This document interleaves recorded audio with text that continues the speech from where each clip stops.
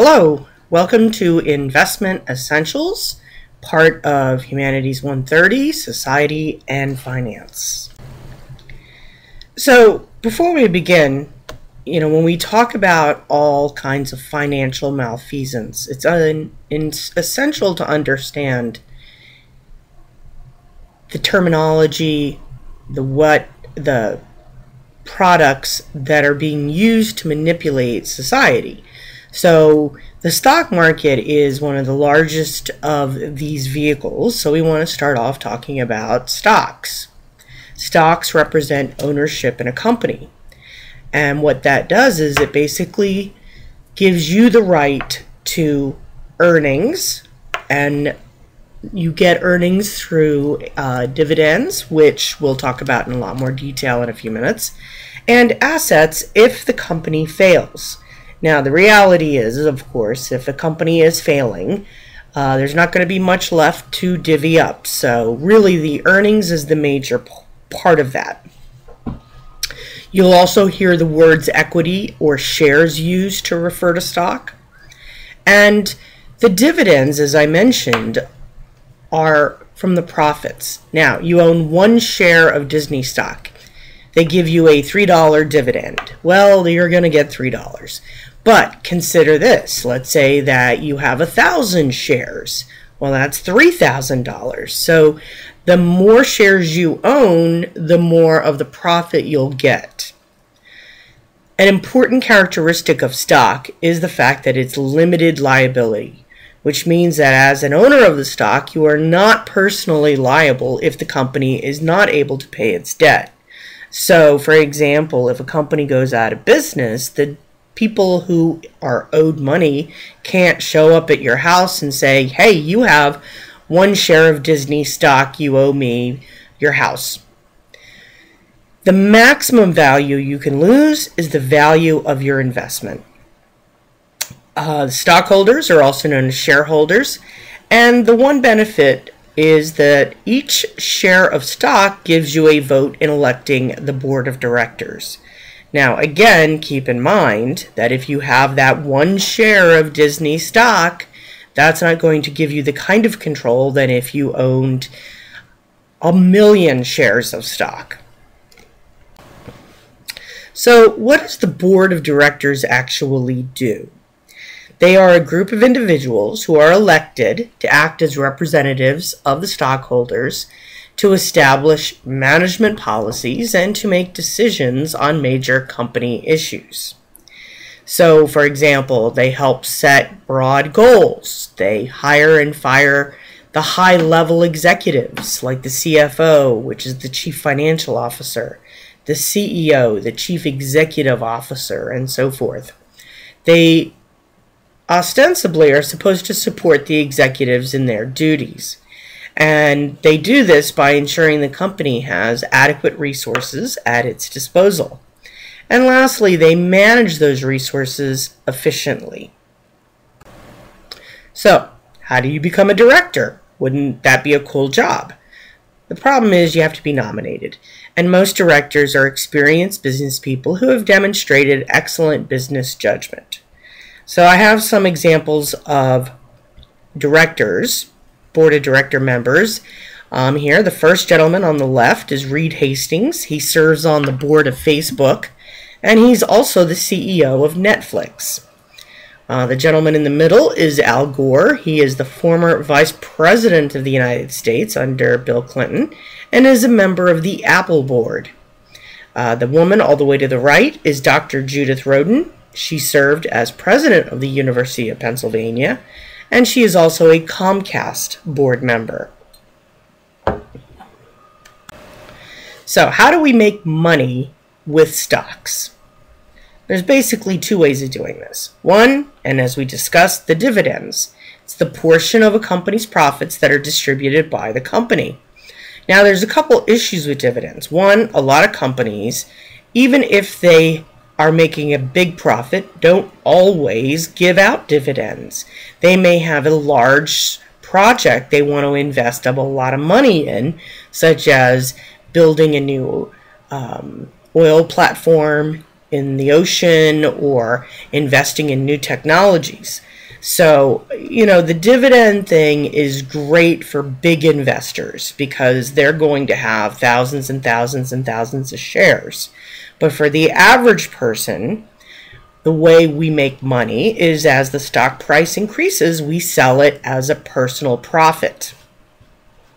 So, for example, let's say you buy stock in a company for $20 a share. In five years, the price has jumped to $45 a share. You decide that this is a good time to sell, so you sell all of your shares and you basically make a $25 profit on each share of stock you sell. That is the way, ostensibly, that most of us again, the average person is going to make money in the stock market. So let's back up a minute and think why would a company want to sell stock? Well, essentially, they want to sell stock to raise money. And when they first go to the stock market, when the company says, hey, let's get on the stock market, they call that the initial public offering, and it's called an IPO.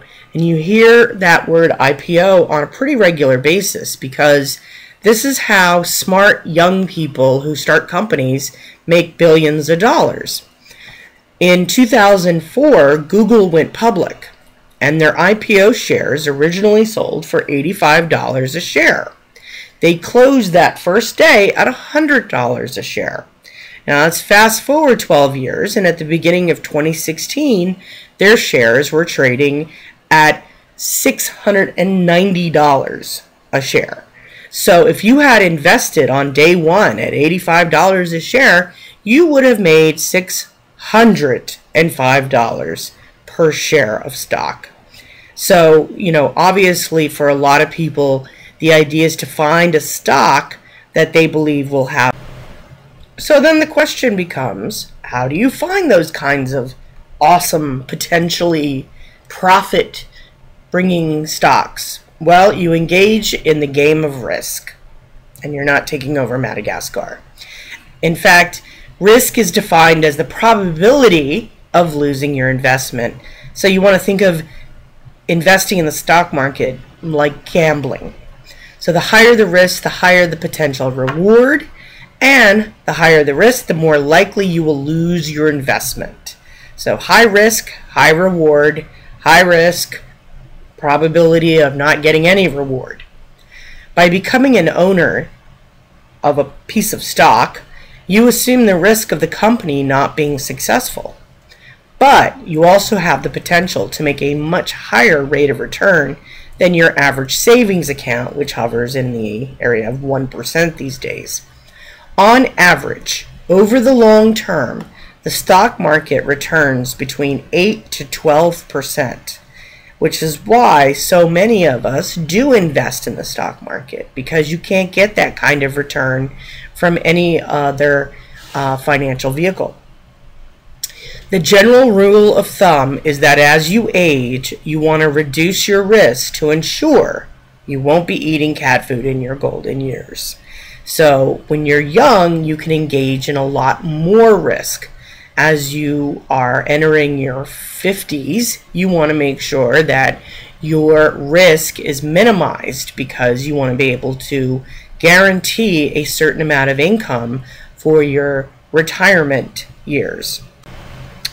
So there are two kinds of stock. We have common stock, and that is the vast majority of stock that's being issued.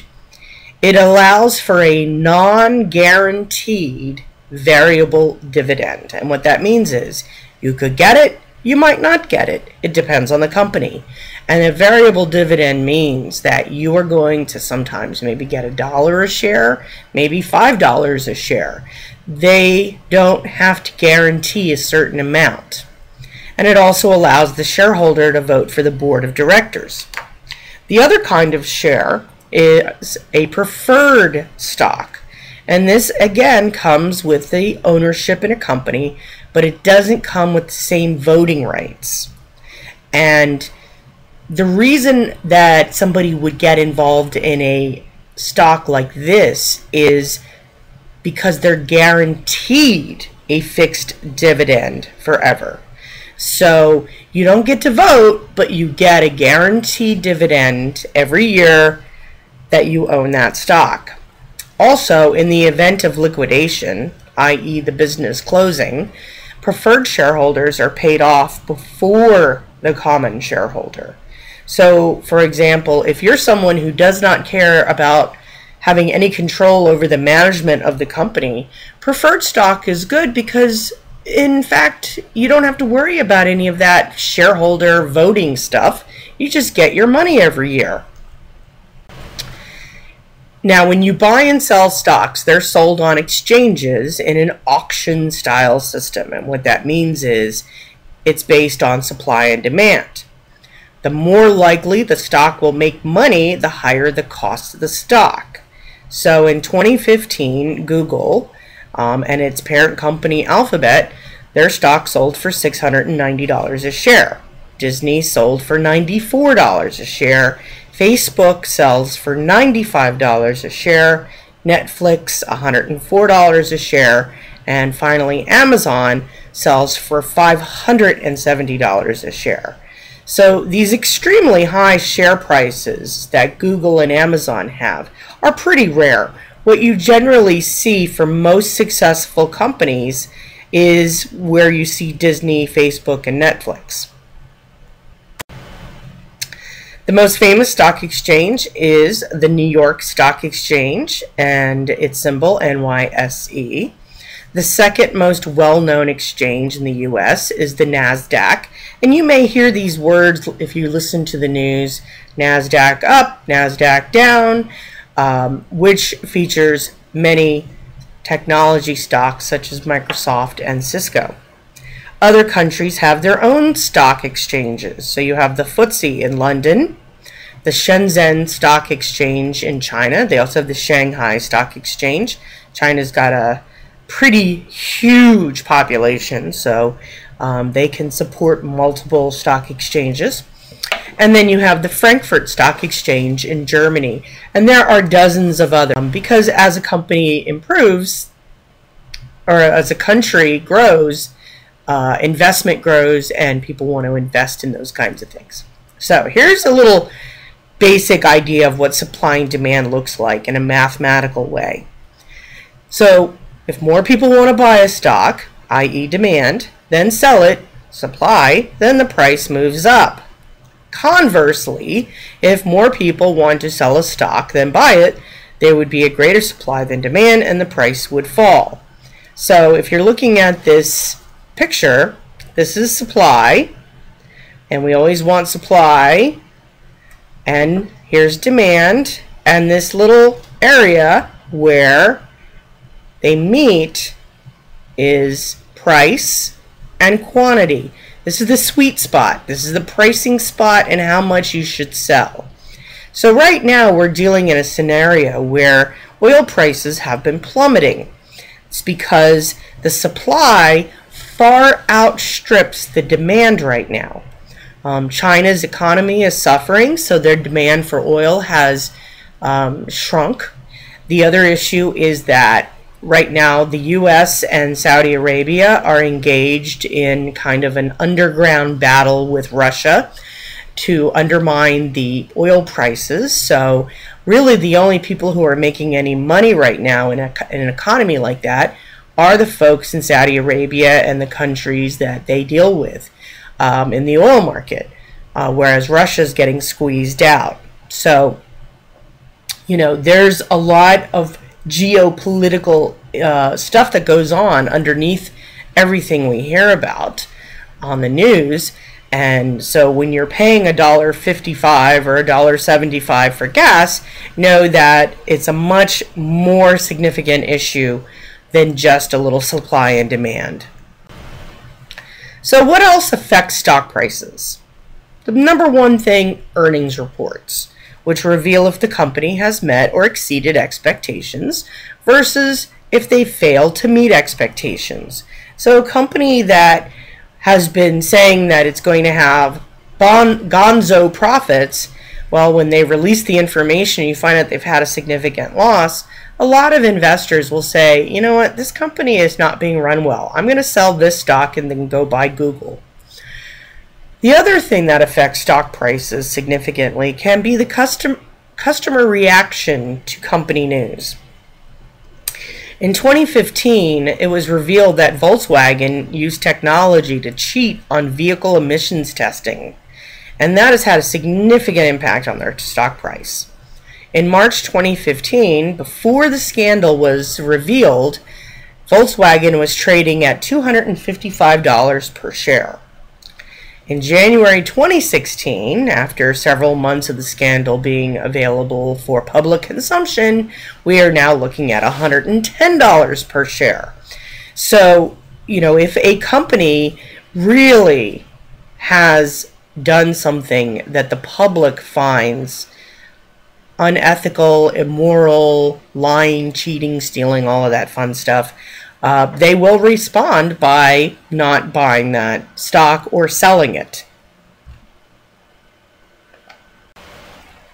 Another aspect that you may have heard on the news occasionally are the idea of stock market indexes, and they're used to monitor the behavior of a particular group of stocks. So some of the major indexes in the United States include the Dow Jones, industrial average, um, the S&P 500, that's Standard & Poor's 500 stocks, and the NASDAQ composite. So for an individual investor, it is a general sign of the health of the stock market, not a specific sign. So we're going to look at the Dow Jones Industrial Average. It is 30 United States blue chip companies. And what blue chip means is the best of the best. So here they are, and uh, in alphabetical order, and you'll see some very familiar companies: American Express, Apple, um, Coca-Cola, ExxonMobil, Home Depot, uh, McDonald's, Microsoft, and then everyone's favorite, Walt Disney. And these are the blue chip stocks that they look at to determine what the Dow Jones Industrial Average is. That's all it is. It's just an average. And it's a general idea if stock market is going up or going down.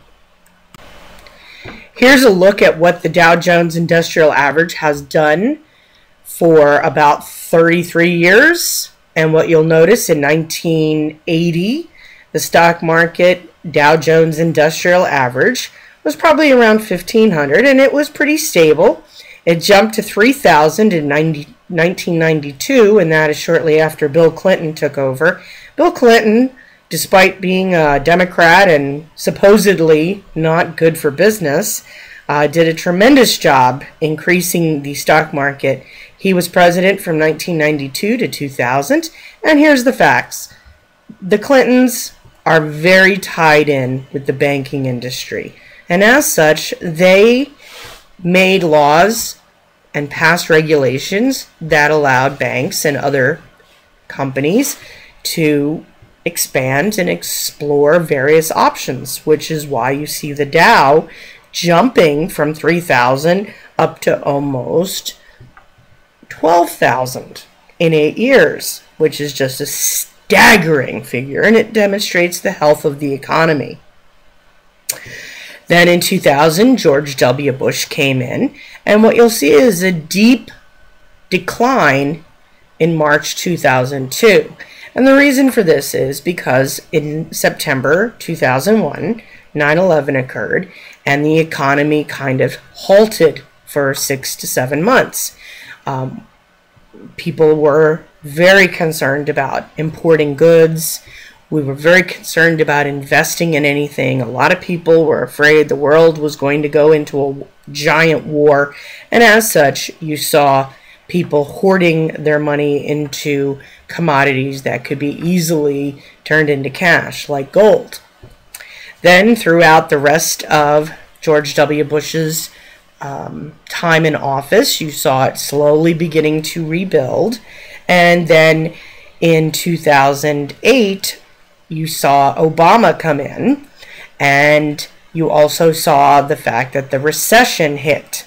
Um, and the recession, again, it was not Obama's fault. It had been beginning. It was mainly caused by the housing bubble, which uh, means that the houses were overvalued, and when the time came, people could not pay their mortgages. And as a consequence, um, it affected not only the United States economy, but a worldwide economic collapse. And we're going to talk about that in a lot more detail as the course moves on. And then as uh, we move into 2013 on this chart, what you see is the stock market has been steadily improving over the last several years. So let's talk about mutual funds because you hear, you know, are you in stocks, mutual funds, bonds, etc.? Well, a mutual fund is a collection of stocks and other securities rolled into one investment.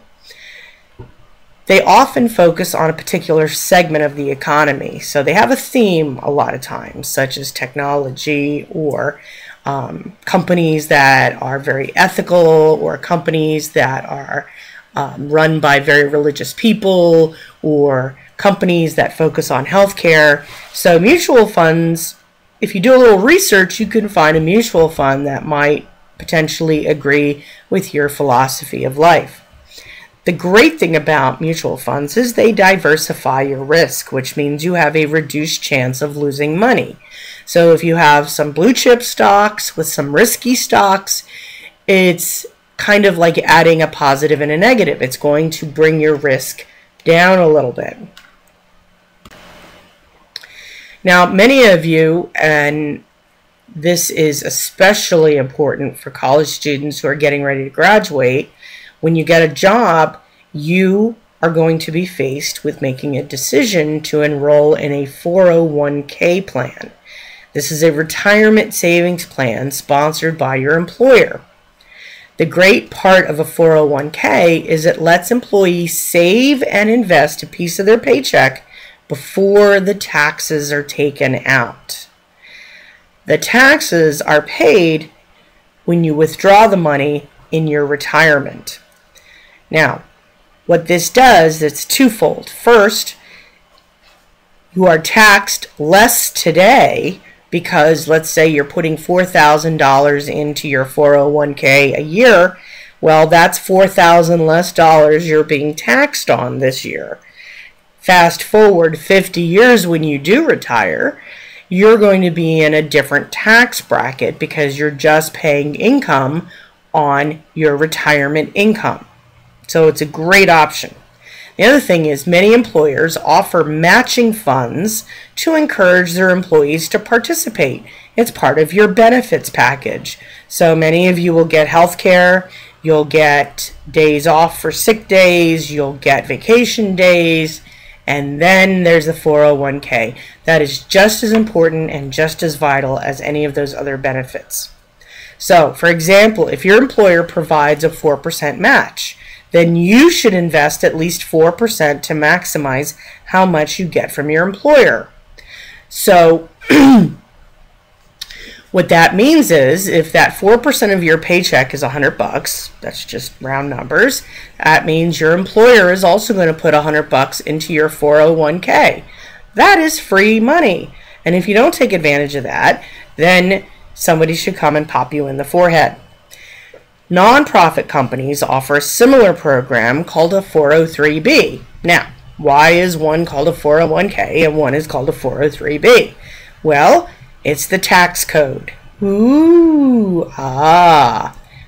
Nothing more than the law, the number of the tax code that explains this stuff. Now, who controls your 401k? Technically, you control your 401k and how it's invested. Most plans offer a variety of funds that you can choose from.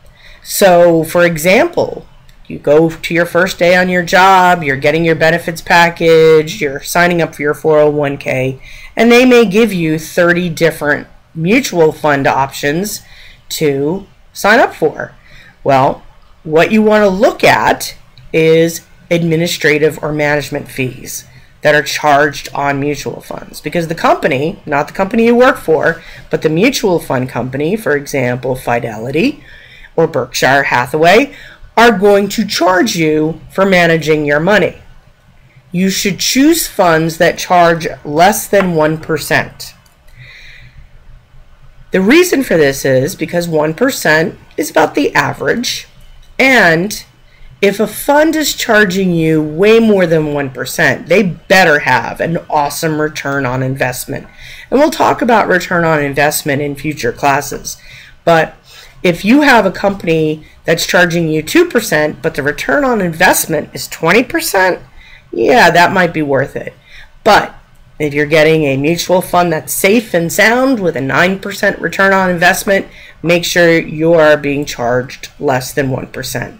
And this becomes a very big issue as you begin to invest at the age of 21 or 22 because you're going to have that money sitting in an account for 40 years.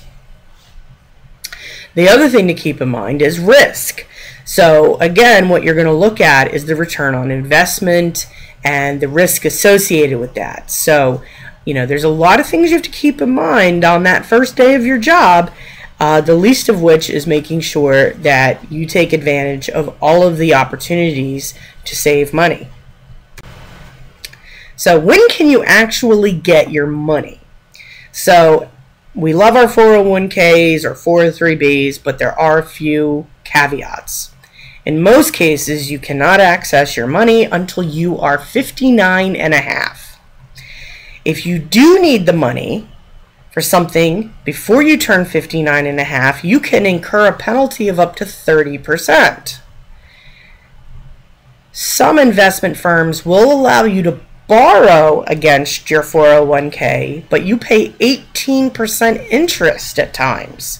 So you must be very cognizant that if you need to save money for other things, such as um, a house, your kid's college education, there are other investment vehicles that are not related to retirement that you can start investing in. Now, for those of us who may not work for a company that has a 401k, we have an option to in engage in a individual retirement account or an IRA. And this is very much like a 401k. It's set up at a financial institution, but it allows an individual to save for retirement without it being um, sponsored by the company. These are aimed at people who cannot participate in a 401k or for people who have maxed out the matching contribution from their employer based plan and they will often choose to contribute to an IRA. So, for example, let's say again you have a 4% match, you're putting that in, but you want to save more than that. Well, you can then put in more money into an IRA, and you know maybe that IRA more closely aligns with your um, ethical choices or with your interests, and so on and so forth. Like a 401k or a 403b, a person must be 59 and a half to withdraw their money. So again, this is a retirement account. It's not a save for my wedding account. There are three types of IRAs. The traditional, the Roth, and the rollover.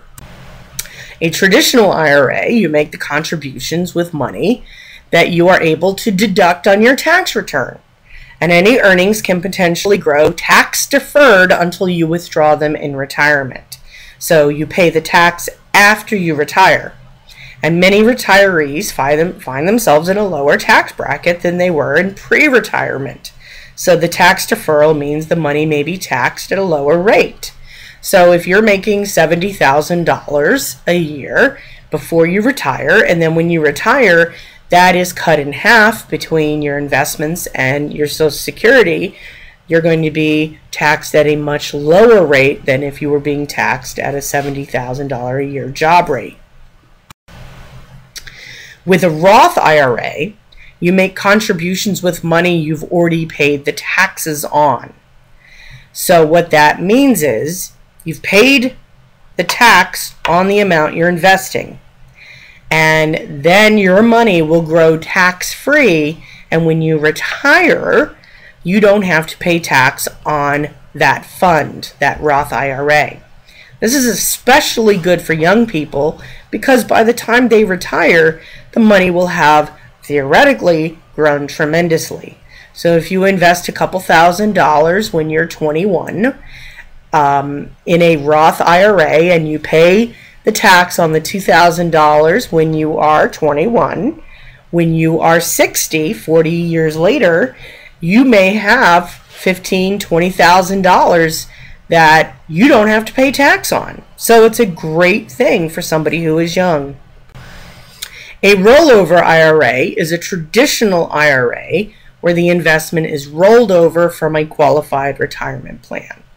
So, for example, let's say that you have reached retirement age, you worked at a company, you have three or four different 401ks because you had three or four different jobs. And instead of managing four or five different accounts, you want to just move it all into an IRA. So you roll it over. And this allows you to manage it through one account.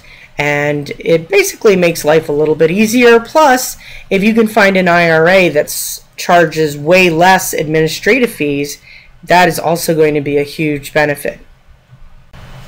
So, why do you need a 401 1K, or an IRA. In the US, part of our paycheck is deducted for Social Security. That's where it says FICA. We receive Social Security when we retire, and that usually begins around age 62. But the longer you wait to claim your Social Security, the higher the amount is. The average monthly Social Security check in the United States right now, 2015, 2016, is about $1,300 per month. But the average family makes approximately 4200 a month and then you have to take that taxes out so let's say 3000 so where's the difference going to come from from 3000 to 1300 well that's why you need your retirement savings your retirement savings will ensure that you're not living in a cardboard box eating cat food in the most pathetic way possible so you've often also may have heard the words bear and bull when referring to a market. A bull market is when the economy is doing really well. Unemployment is low, stock prices are rising, and high consumer spending because if we are spending money, that keeps the economy churning and churning and churning. On the other hand, a bear market is when the economy is doing poorly. High unemployment, stock prices are dropping, a recession is imminent or already exists, and consumer spending is very low. Right now, we've been in a bull market. We've had a few blips on the stock market because of what's going on with the economic problems in China. But in general, we've been seeing a really strong stock market the last few years. So, what should you do in a bear market? people always freak out. They're going, oh my God, I lost 30% of my savings because of the stock market last week. Well, here's the reality you're in the stock market for the long term. Don't sell in a bear market because you're just going to lose money. So you hold your portfolio, you stop looking at the stock prices, and um, it will eventually improve. It always does over time. So, whether you are investing in individual stocks, mutual funds, or retirement accounts, you should look at it as a long term commitment. And again, you know, those of us who've seen the stock market go up and down, we can look at our investments and say, yeah, I lost 30% of my savings in the last week. But in the next five years, I will rebound. And again, that's why risk is such an important element in investing because if you are a 60 year old, you don't want to be in risky stuff that's going to drop your say, your retirement account or your investments because you don't have that long to recover. Whereas when you're young, you have a long time to recover. So that finishes today's presentation. If you have any questions, always feel free to email or text me and have a terrific day.